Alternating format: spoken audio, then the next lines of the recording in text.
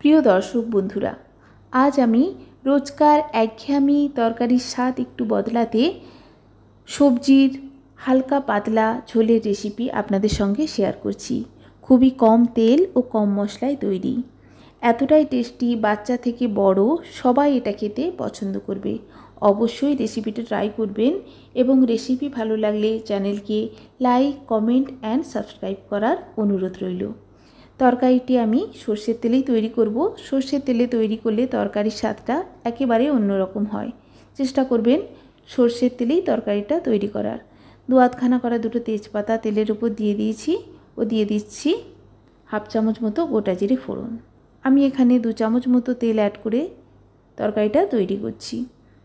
ফোড়ন থেকে সুন্দর গন্ধ বেরিয়ে এলে দিয়ে দিচ্ছি কেটে রাখা সবজি। এখানে আপনারা ফুলকপির কালারটা হলুদ দেখছেন, কারণ কাটার পর আমি ফুলকপি হলুদ জলে ভিজিয়ে রেখেছিলাম। কয়েক সেকেন্ড সময় ধরে ফোড়নের সঙ্গে সবজি নাড়াচাড়া করে নিয়ে আমি অ্যাড করছি পরিমাণ মতো লবণ ও হলুদ। লবণ, হলুদ ভালো করে মিক্সড করে গ্যাসের ফ্লেমটা লোতে করে ঢাকা দিয়ে আমি মিনিট দুয়েকের জন্য রেখে দেব। এখানে আমি ফুলকপি, আলু ও পেঁপে সবজি হিসাবে ব্যবহার করেছি। মিনিট দুয়েক পর দেখুন আবারও ঢাকা খুলে নাড়াচাড়া করে দিচ্ছি। এইভাবে বারে বারে ঢাকা খুলে ও ঢাকা দিয়ে নাড়াচাড়া করে আমি সবজিকে খুব ভালো করে ফোড়নের সঙ্গে কষিয়ে নেব। এইভাবে কষিয়ে রান্না করলে তরকারির স্বাদটা কিন্তু একেবারে অন্যরকম হয়। অপরদিকে শিলে এক চামচ মতো গোটা জিরে, পরিমাণ মতো আদা, একটা ঝাল কাঁচা লঙ্কা বেটে নিচ্ছি। দেখুন, দু মিনিট পর আবারও ঢাকা খুলে দিয়েছি। প্রায় এখানে সবজি আমার ফিফটি পার্সেন্ট মতো সেদ্ধ হয়ে গেছে এবং সমস্ত সবজি খুব ভালো করে কষানো হয়ে গেছে। অ্যাড করছি মিডিয়াম সাইজের টমেটো। টমেটোকেও নাড়াচাড়া করে আবারও দিয়ে দেব ঢাকা।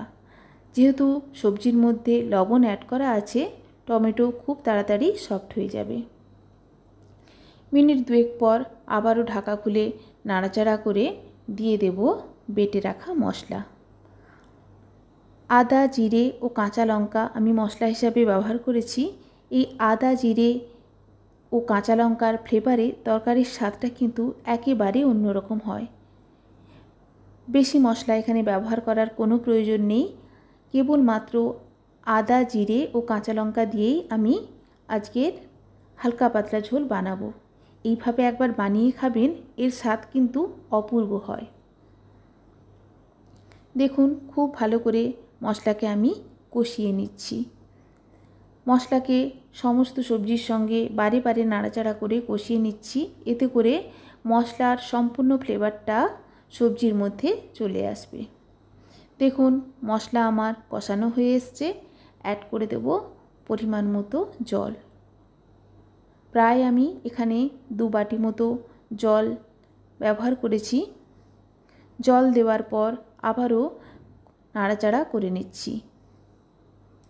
অ্যাড করে দিচ্ছি স্বাদ মতো লবণ, যেহেতু জল অ্যাড করেছি। লবণ দেওয়ার পর ভালো করে লবণ মিক্সড করে দিয়ে আবারও গ্যাসের ফ্লেমটা মিডিয়ামে করে মিনিট তিনেকের জন্য রেখে দিয়েছিলাম। তিন মিনিট পর ঢাকা খুলে দিয়েছি। সমস্ত সবজি খুব ভালো করে সেদ্ধ হয়ে গেছে এবং আমার সবজি সার্ভ করার জন্য রেডি এইভাবে আপনারা তৈরি করে খাবেন এবং রেসিপি ভালো লাগলে চ্যানেলকে অবশ্যই লাইক কমেন্ট অ্যান্ড সাবস্ক্রাইব করবেন। গরম গরম সাদা ভাতের সঙ্গে সার্ভ করুন। ধন্যবাদ।